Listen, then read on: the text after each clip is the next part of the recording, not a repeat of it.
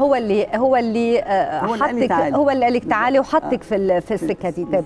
لو عاوزة تفتكري المرحلة دي تحديدا ويعرفوا أهلك بالموضوع وأول مرة تقولي لهم الخبر أول صورة تيجي هيك قدامك صورة إيه لما قلت لأهلك الموضوع ده شوفي كل أنا ما قلتش لأهلي أنا قلتها في جورنال لا قلتها في المصري اليوم والله العظيم أهلك ما كانوش عارفين محدش كان عارف في مصر كلها آه. ولذلك جماعة الشر آه. كانوا يقولوا أسلمت عشان عيون علي الشباشي ده بعدها ب 50 سنة اللي كشفت عن الموضوع آه. عشان فلوس علي الشباشي كلام يعني مم. بالحقيقة لا يليق يعني ب... كأنه كمان الإسلام ده حاجة ما حدش يدخلها لا في ناس بت... بتسلم عن اقتناع يعني بس أنا ما بعرفش هادن بقى آه. يعني أنا آخد الموقف مم. زي ما آه، أنا حساه. وبعدين اللي يحصل يحصل وحصلت قطيعه كثير كبيرة صح؟ حصل آه. بينك وبين أهلك. طيب مامتك ما بتوحشك لا هي مامتي كانت بتشوفني. امم كان و- كانت العلاقة كويسة أنت ومامتك؟ آه آه. لأن أنا بعتبر دي حاجة بيني وبين ربنا. مم. وأنا ما بحبش ما كنتيش خايفة من آه، من ردة الفعل أكثر لا يعني؟ لا لا. لأن أو اولا ما كنتش خايفة ثانيا ما كنتش هظهر أقول أنا عملت كذا وكذا لا، وكذا.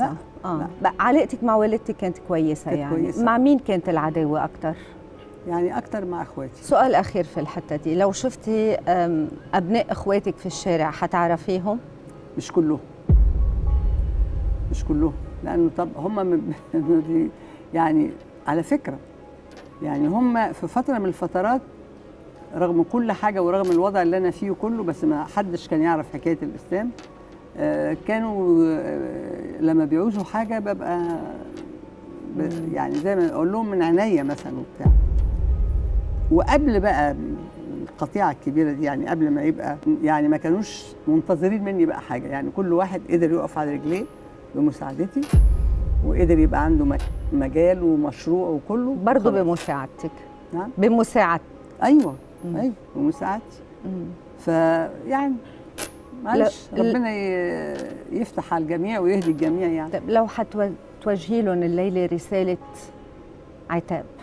لا مش عايزة اعاتب طيب تقولي لهم إيه؟ أقول رساله لهم أنتوا أحرار. يعني كويس إنكم عملتوا كده. وأنا يعني اتشال من عليا عبء لا أنا م م- شوفي آه، آه، أنا دايما أقول أنا بحب قوي الغنوة بتاعت محمد فوزي. اللي يهواك هواه واللي ينساك انساه.